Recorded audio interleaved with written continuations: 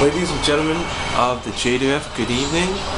My name is The Game and I represent the JWF for the past 10 years and am bringing you this news tonight to discuss the events of JWF Elimination Chamber.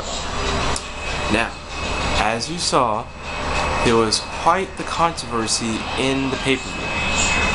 Yes, there was a draw between the Ace Reaper and John Cena in their 2 out of 3 Falls match.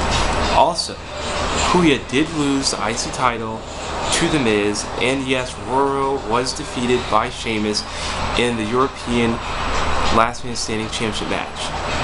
Additionally, McMahons put the rest, and with the win via Youngblood and Motocross over the McMahons for the tag titles, the Invasion storyline has ceased. But WWE Superstars will still be incorporated into the program. Lastly, we have a new shade of champion, and that is Jedge.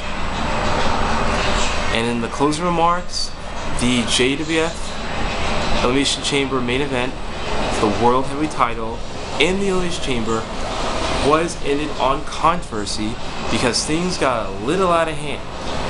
Somehow, Chaos was incapacitated and Nerding the game got into a heated battle and were just beating the crap out of each other. So the match was stopped due to the extreme content going on.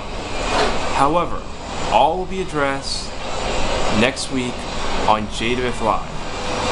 Thank you for tuning in to the JWF, and we hope you continue to watch our program.